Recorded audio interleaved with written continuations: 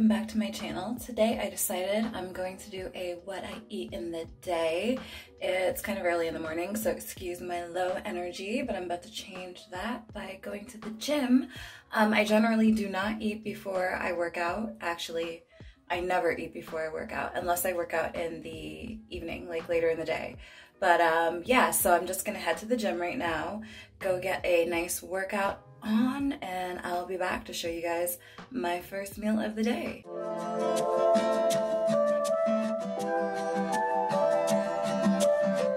Guys, I am finally back. It's like one o'clock in the afternoon um, and I just got back. I'm getting ready to make some granola. Um, I'm starving, so I'm gonna make some granola and I'm gonna use it as a cereal.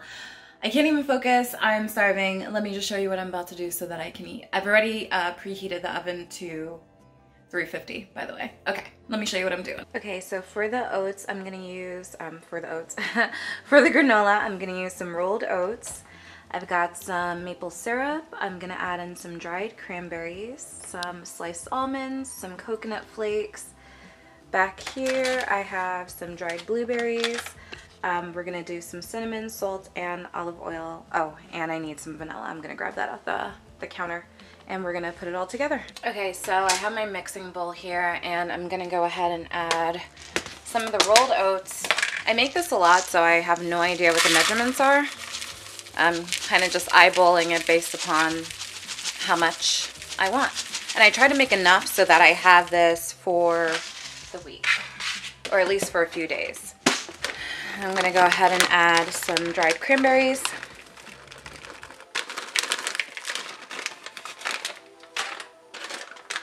Some almonds.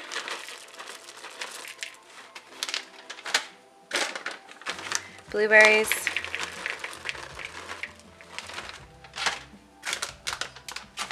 Coconut flakes.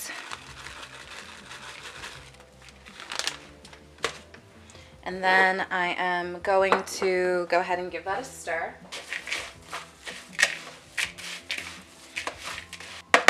And I kind of just look and see if I want to like add or, well, I guess add because I'm not going to eliminate, but if I want to add anything else. But that looks perfect to me. So I'm going to go ahead and add some maple syrup. Olive oil. Cinnamon some salt, and whoa, just dropping everything. Um, and I need to get some vanilla extract. Let me find it. I don't think I have any.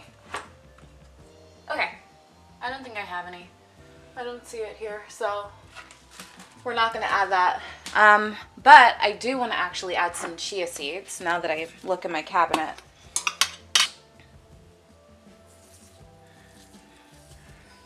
And I'm pretty sure I have some hemp some hemp seeds in here as well.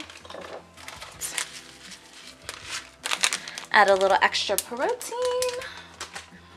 Okay, and now I'm gonna give this a good stir. You wanna make sure you're getting the oats and everything evenly coated. I'm actually gonna go ahead and add a tad bit more olive oil.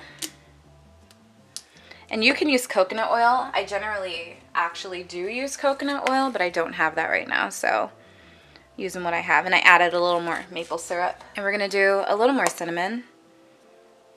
Give it a stir again. That looks like perfection. I've got a pan here. I don't know what that is. Um, I have a baking pan here that I have wrapped in foil paper. And I'm just gonna disperse this onto my baking sheet. We're going to spread it out evenly. I probably could have went for a bigger baking sheet, but whatever. Make it do what it do. Okay, that's what it's looking like. And now we're just gonna pop this into the oven. Um, I'm gonna say like 18 minutes, don't quote me on that. I'll write on the screen how long I actually do it for, because right now I don't remember because I'm starving and I cannot think of time. But yeah, we're just gonna put this in the oven and then I'll be back to show you how I make it into cereal. Okay, so this is what the granola is looking like. It would help if I had some form of oven mitten so that I could slide this out. There we go. That's where we're at, and um, it would also help if I had a spoon in my hand. It would help if I was prepared. All right, we're just gonna kind of flip this over or stir this around, mix it around so that it's evenly getting cooked.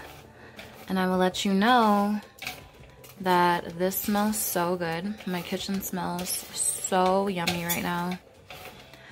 I wish that they had a smell vision, you know, so that you could smell what I am smelling. Because watching this doesn't do it justice. Like, you guys, you gotta smell this. Hopefully I'm holding the camera up. I'm trying to focus on stirring this, not making a mess. Okay, that looks pretty good. I'm gonna go ahead and pop that back into the oven for about 10 to 15 more minutes until I feel nice and crispy. See you soon. Okay, back again. The granola smells like it is Dunzo's, so I'm gonna go ahead and take it out of the oven. And we're just gonna let it cool down and then I'm gonna show you how I assemble my cereal. Okay, so the granola is nice and cooled down. I went ahead and chopped some fruits up that I want to top my cereal with and I'm going to use some coconut milk um, and I'm just gonna go ahead and assemble everything into my bowl.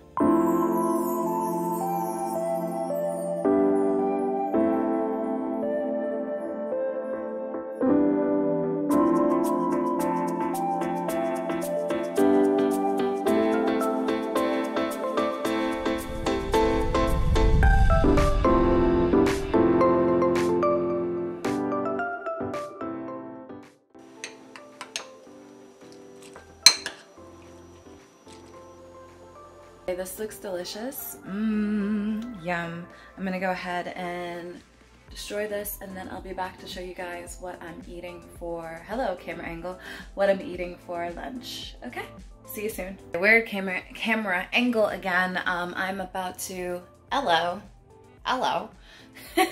I'm about to make some lunch, trying to fit me and my lunch, and it's hilarious because it's five o'clock right now and I'm making lunch, but that's my life. That's how it goes. I just eat when I'm hungry and I don't start eating until later in the day, but it is what it is. Anyways, I am going to do some avocado toast with some chickpea tuna. So let me show you how I assemble all of this good stuff. So first I'm gonna go ahead and start by cutting some red onion and I just grabbed my sharpest knife. I need to sharpen all my knives right now, but this is a bread knife, I know, but I'm using it to cut an onion because, you know what, it cuts it really good. So, you know, let me live.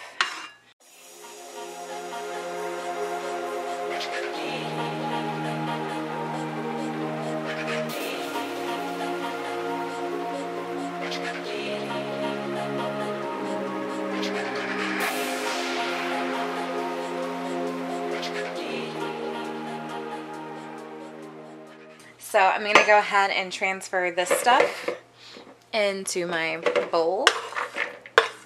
Then I'm going to add some chickpeas. I already rinsed and drained these. These were from a can. So to mash, to mash my chickpeas, I use this uh, flour, what is this, a pastry cutter. Thank you. I use this pastry cutter and I mash my chickpeas up. But you could do this in a blender or food processor or whatever you have. Um, this is just easy for me. And actually, I think it's kind of fun. so I've got green onion. I'm going to go ahead and add some of that into here. I'm going to chop up some grape tomatoes that I have. And I already rinsed these. Now I'm going to add some black pepper. To add some sea salt some chives, and some lemon pepper. A little bit of garlic powder. And then I'm gonna add some vegan mayo.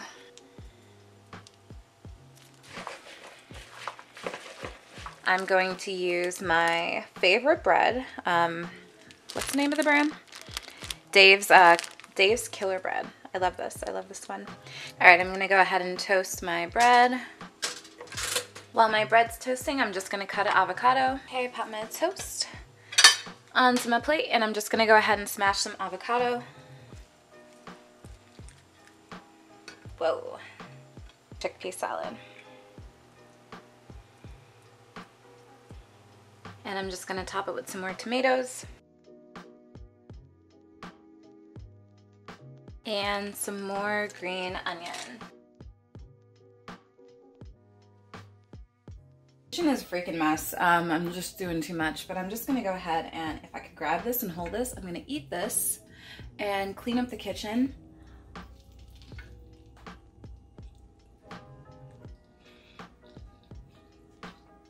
Mmm, it's amazing. Okay, welcome back. It's dinner time and we're doing something strange with tomatoes in the kitchen.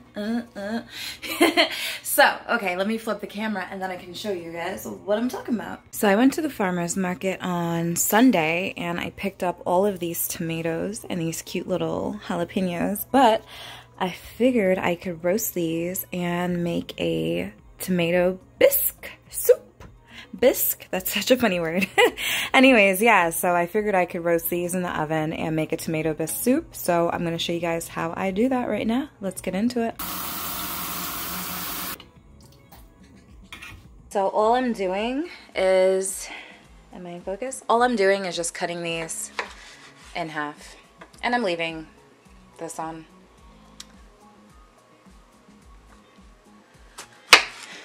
Okay, just kidding. I am not leaving that on.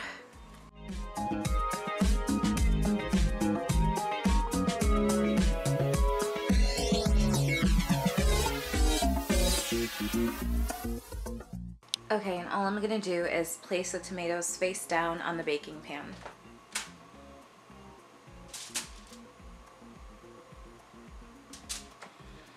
And then I'm just gonna go ahead and put these in the oven um, and I'm gonna let them roast for about 20 minutes. Okay, while the tomatoes are roasting in a pot, I'm gonna go ahead and get my onions and garlic ready. And the recipe that I was looking at online says that they use tomato paste, which I don't have, but I do have some tomato sauce, so I think I'm gonna use that. Anyways, I just added some olive oil to my pot and I'm to let that heat up and then I'm going to saute my garlic and onions. My pan is nice and hot and then my garlic, tomato sauce I have and I'm just to go ahead and add a little bit, okay, a lot of it. You know what? We're to add the whole jar.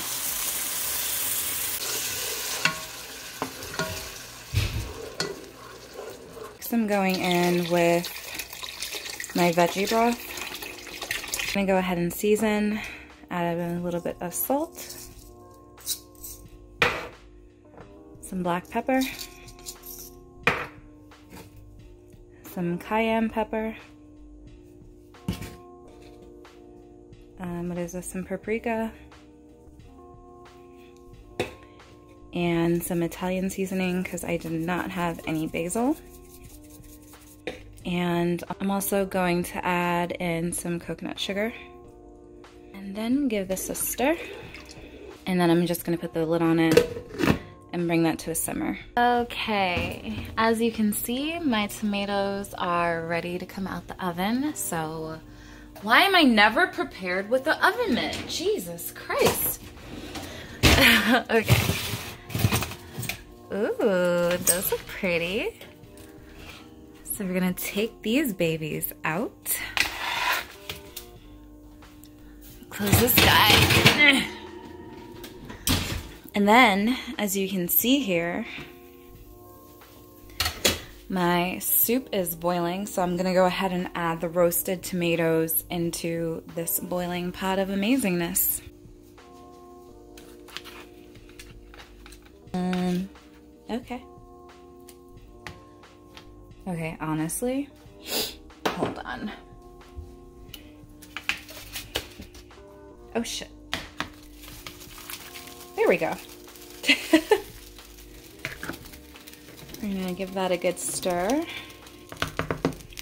And we're gonna bring this to a slight boil. I'm also gonna add in some almond milk. Don't ask me how much I did. I just stop when Jesus says that's enough. But it looks about right to me. I have no idea. I've never made this before, so kind of just winging it. But generally when I wing stuff, it comes out amazing. So yeah, I'm gonna let that come to a boil and then we're gonna transfer all of this into the blender. Okay, so I just did a taste test and that tastes phenomenal. Um, I'm gonna go ahead and transfer this into my blender and we're gonna mix that together and yeah, that's it. That's soup.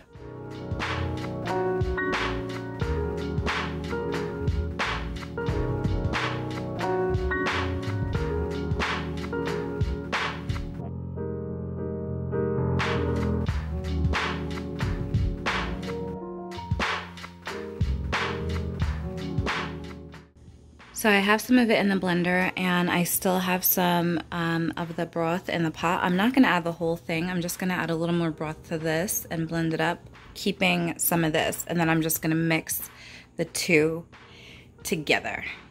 Okay.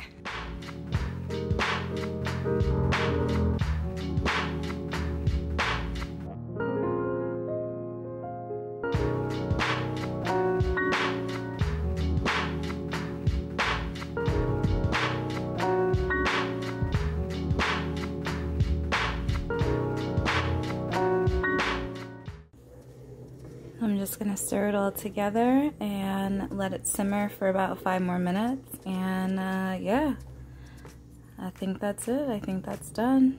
Okay, so I got a little fancy and I made some croutons. If you want my homemade crouton recipe, go ahead and click the link. I'm gonna leave a link to the video that I made the croutons in um, up in the top hand corner. But yeah, the soup is looking pretty freaking good. So I'm gonna go ahead and enjoy and I will see you guys in my next video. Thanks for watching.